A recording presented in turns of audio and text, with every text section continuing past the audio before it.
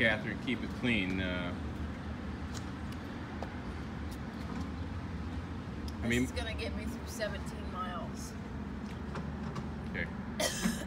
V8, Any hiccups? all of the vegetables that you need an entire day, packed in one bottle. I slammed it, so Okay. the hiccups that I had for five miles are gone. So we got 17 miles, puts us around 210 or so. Beautiful weather. Quite windy, out of the south mostly. But uh, Every flag we passed, Chuck said, out of the